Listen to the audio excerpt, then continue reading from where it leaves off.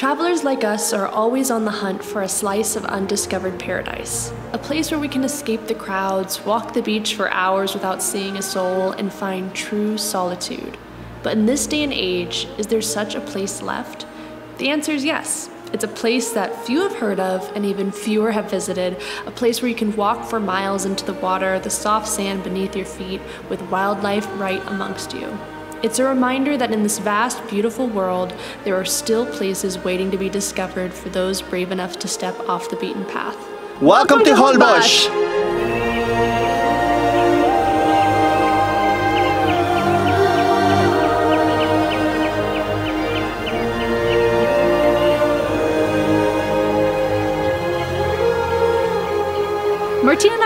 mission to visit every state in Mexico. And many people told me this is the most beautiful island, not only in the country, but in the continent. What's crazy is that we're two hours from Cancun, so far enough away from all the crowds and hustle and bustle, but surprisingly close and easy to get to. In this video, we're gonna show you things to do in Holbox, how to get over here and how much does it cost. So come along with us for a weekend in Holbox. Let's get started. Vámonos!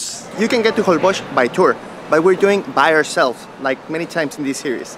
So right now we're in the Cancun bus station of ADO, and we're taking the bus from here to Chiquila, and from Chiquila we're gonna take a ferry to arrive to the beautiful island of Holbox. We strongly recommend you to buy your tickets online, that's the best way, the easiest, the cleanest, the best. I say it once, but I'm gonna say it twice. These tacos outside of the bus terminal, chulada.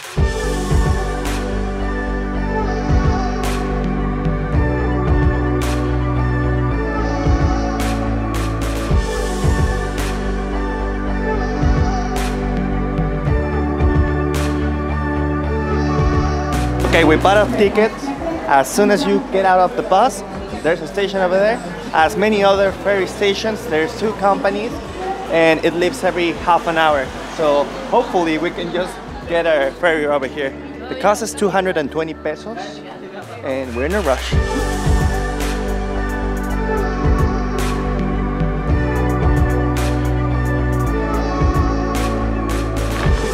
We made it just in time. Gracias. This trip was actually super easy to do by bus. Martina and I originally wanted to do a rental car to come here, but in retrospect, that would have been a bad idea because we'd have to leave it here overnight. So overall, so far so good.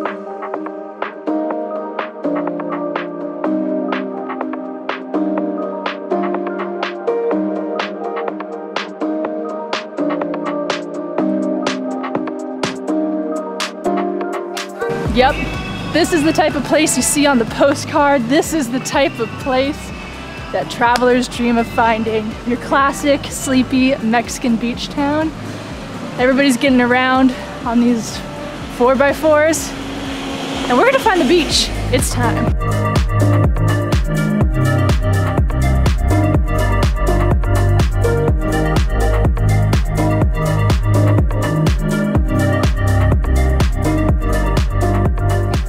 Difference between the other destinations in our Riviera Maya series is that this is the only destination that I haven't been. Holbox is new for me and I wanted to come over here so bad. Yeah. So what is your first impression, Juliana? Well, let me tell you, like Martine, I've been dreaming of being able to take a trip here to show you guys this place. Within the first five minutes of being here, a few things are gonna happen. You're gonna say to yourself, hmm, maybe we could quit our jobs and just go live here for the rest of our lives. Then you're gonna say, maybe I'm just gonna start wearing my hair natural, no makeup, wear a swimsuit all the time. Yeah, I'm, I do not want to use makeup anymore. Yeah, exactly. You either.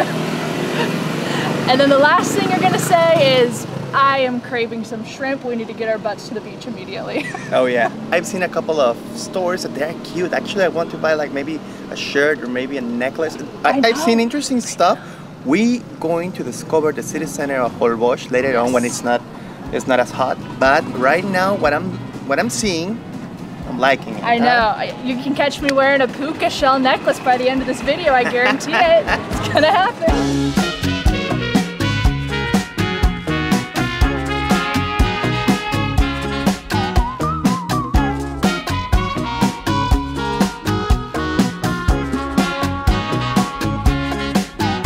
Okay, so we arrived to this place that is called Corazon del Mar. And we have the beach in front of us, the deep blue, and you can see people getting very far and like the water is only till their knees. I know, you could this is the type of place you could walk for miles. We're currently at Playa Holbox, huge stretch of beach where there's mm -hmm. tons of mm-hmm. little restaurants like this. And actually we stopped because Juliana was craving some coconut shrimps. And the coconut shrimps have been found. They're on our way to us. And to be honest, this isn't even the beach we're most excited for. No, no, no. others. This is just a welcoming beach. Let's call it like that. Or the uh, beach where we are currently waiting for our Airbnb to be ready, which we'll show you guys a bit later.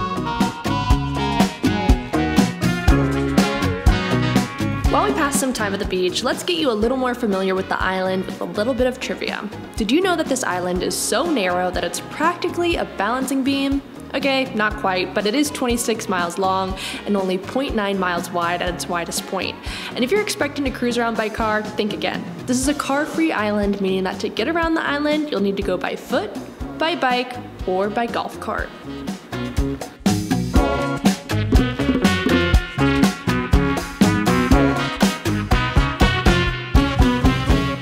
Are so many cool accommodations on this island. We had so much fun looking through them. Honeymooners, there's definitely some cool places here for you. But we figured since we're only here for one night and most of our time is gonna be spent out exploring, we wanted to do a budget accommodation option. So we went to Airbnb, found this listing for, it starts at $49 a night. It's this nice studio that has a kitchen and air that is literally all we need, plus a bathroom. So far we've been really impressed with this option. We'll leave a link down below. We're not in any way affiliated with the host of this property. We just like to share our finds with you guys. Enough talking though, we literally just set our stuff down and we're itching to get back to the beach. Different beach though this time. Dos bicicletas, por el, el paquete de siete horas. We're renting some bikes in order to go to the beach because it's a 40 minutes walk. I don't want to walk. How do you guys like our rides? We ended up renting these bikes in downtown. There's a few different options for how many hours to rent. We ended up doing seven hours for 170 pesos and we're gonna start exploring.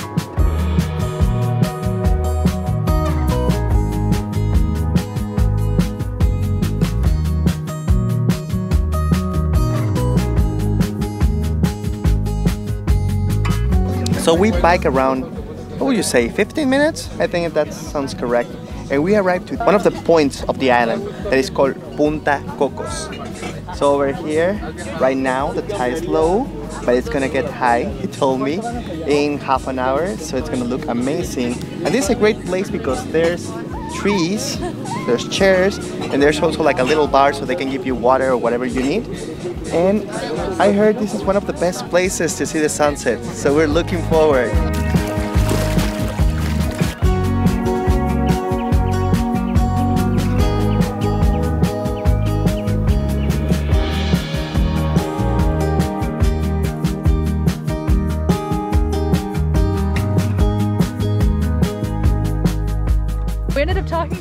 Locals on the beach for quite a long time. Shout out to them.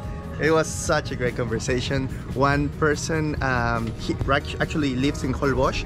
The other person was from Guadalajara and the other person was from Aguascalientes. Yeah. It was a great conversation. One thing I learned though from the local guy, he said the minute the sun goes down, you will be eaten alive by mosquitoes.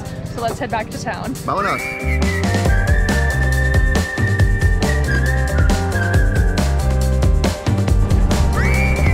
dinner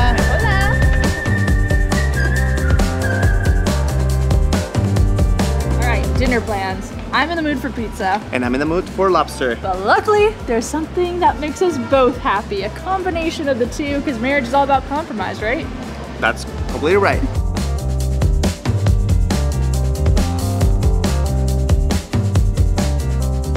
Lobster pizza is a glorious dish that I never even knew we needed in our lives that's apparently famous here on the island of Holbox. But there's a couple of places that they claim they're the ones that invented this magnificent dish.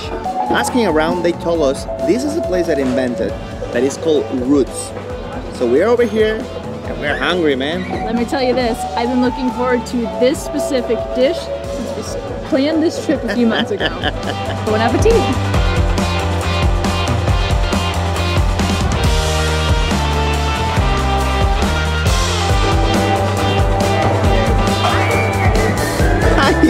Papaya de Celaya. Camera eats first. Our lobster pizza is here and it smells delicious Smells like lobster. and like pizza. You guys just witnessed history. One of the best pizzas I've had in my entire life. Muy bien. If you really like lobster and you like pizza, stop watching this video. Oh, pause on it. Should buy a flight to Cancun, come to Holbox and try it. My God, it's good. It's good. For a sleepy Mexican beach town, it's shocking how lively this place is at night. We're gonna walk around, check out some of the boutiques, and then we'll meet you guys in the plaza where there's tons of vendors set up for some marquesitas.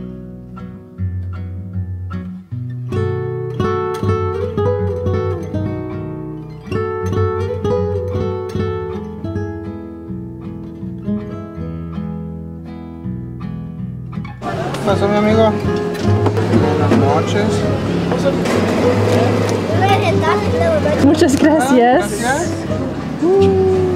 This is a marquesita. This is the main dessert over here, like all around the Riviera Maya. So, and traditionally, you have to put queso de bola. That is a cheese that is aged. And it's very, very good. If you have the opportunity, you need to try it. You can order it with Nutella, with caramel, or with lechera. That will be the traditional way to do it. Provecho. Totally was expecting this to be pretty much the same thing as a crepe. It is not. It is a lot harder and the cheese thing really threw me off. Overall, the texture is completely different from a crepe. I wasn't expecting the cheese in here. Let's give it a try. And also, mi amor, on the top, it looks like me whenever I wake up, my, my hair. It does. It looks just like this. Try it, mi amor. Mmm. oh wow. Mm-hmm. The cheese, the cheese is just like Parmesan. Not what I expected.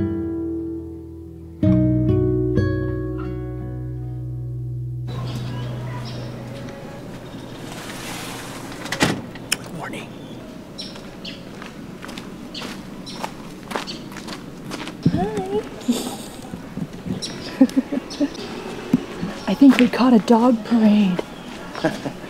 There's many tours you can take over here in Holbox. I think one of the most famous it's the Tree Island Tour. That it take you to the island, the Bird Island, then they take you to another island, and then they take you to a place where uh, water is born. Did you say that, Juliana? There's another famous tour that is only in the months of June and July, that is with the whale shark. That's also interesting.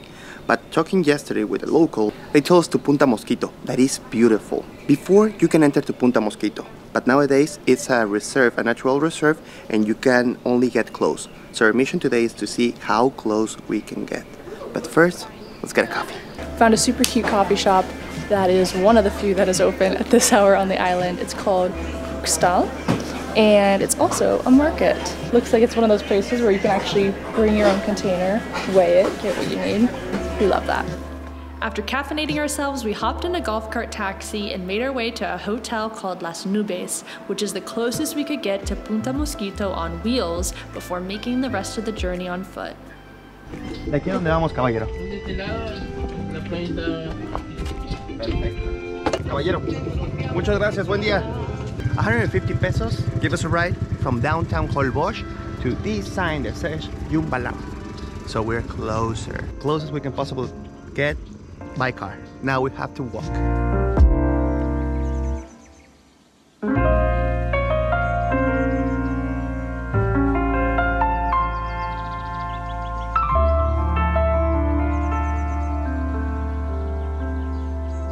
This is so peaceful. There's not a single noise. Beautiful. The only thing you can see is those people walking over there. They're like Jesus, you know. They're wa- they're walking on the on the water.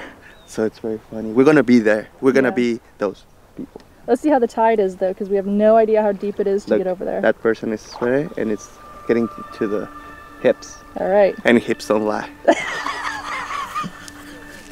Wow. okay.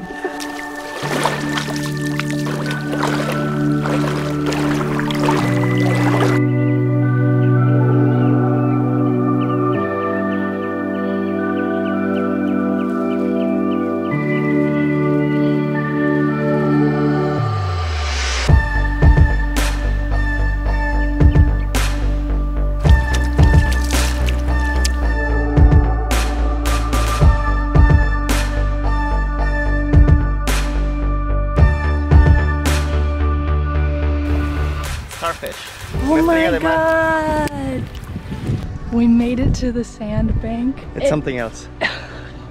unbelievable. Like I said it before, but I truly feel like we're on one of those magazine covers of like these gorgeous destinations in the Caribbean. Actually, Juliana and I we were talking uh, that these remind us a lot um, Phi Phi Island in, Thailand.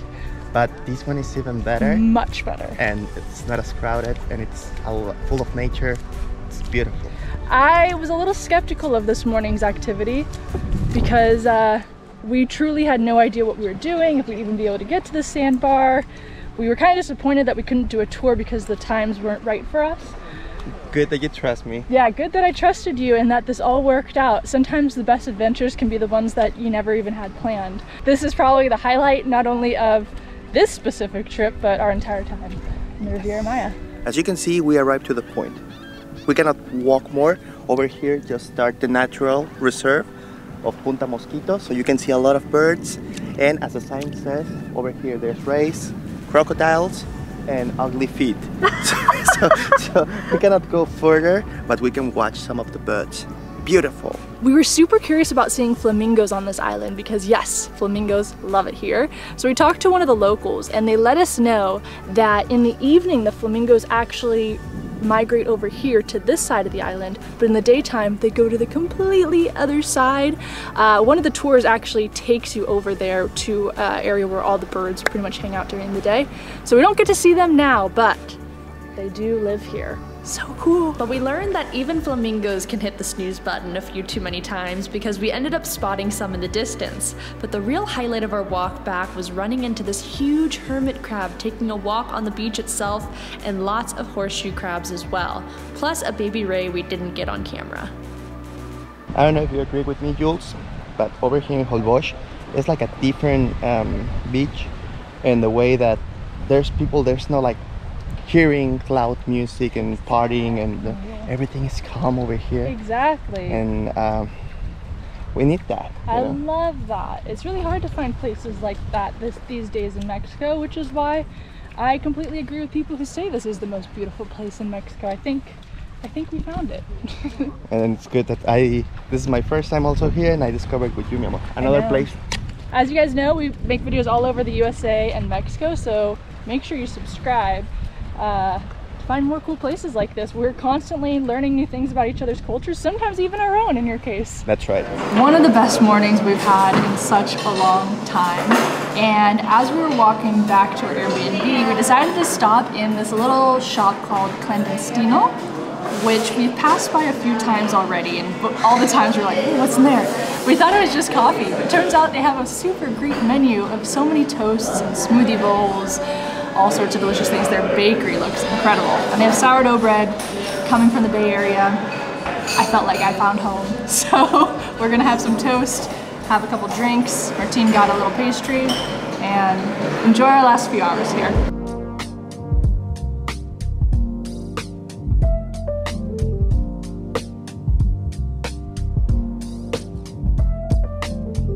By far, this is one of the most beautiful places we've been, not in Mexico, not in the United States, in the entire world. I can only hope that you guys watching this at home get a chance to come here because truly, this is the dream of every traveler, honestly. We want to thank you so much for watching this video as well, our entire series over here in Riviera Maya.